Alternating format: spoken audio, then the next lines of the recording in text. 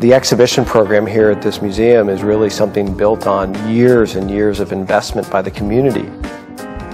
I think there's a few very important critical moments in that history. One of the most important artists in the history of the 20th century, Mark Rothko holds a special place. We did a retrospective of his work uh, going back from his early pieces throughout his career. Think our exhibition program has been built off of artists such as Mark Rothko and some of those major moments that we showed him.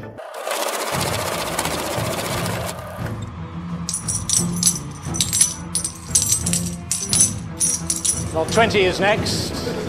The Mark Rothko, orange, red, yellow and $24 million starts. 24 million, 25 million, 26, 27 million, 28 million, 29 million, 30 million, 31 million, 32 million, 33 million, 45 million, 53 million, 56 million. Typically, for a high profile lot that we sell, you're looking at two to three minutes, would be sort of an average time frame. And for the Rothko, the bidding war lasted for seven minutes, with over 50 bids made. 74 million. What's that? 75 million. 75 million. 77 million five and selling to Brett Spitter, foul warning, all done at 77 million 500,000. Brett Spitter at 77 million. Not only was this sale the world record for the artist, at the time it was the most expensive post-war and contemporary artwork ever sold in the world.